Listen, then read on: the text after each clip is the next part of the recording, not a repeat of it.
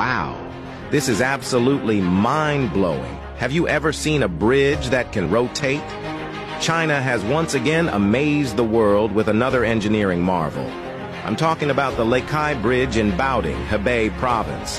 This extraordinary bridge spans a total length of 495 meters, with a width of approximately 39.7 meters and a weight of a whopping 80,000 tons.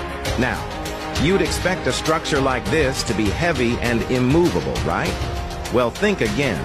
Because this bridge right there in Baoding pulled off a stunning aerial ballet by rotating a full 180 degrees on the spot.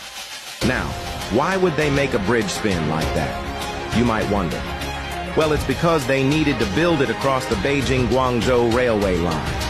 And get this, there are over 160 high-speed trains and freight trains passing through this route every day. Imagine the impact on people's daily commute and the economic losses if they couldn't get this bridge up and running in no time.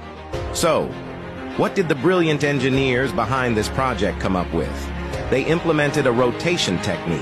And let me tell you, making a massive structure like this, rotate is no easy feat.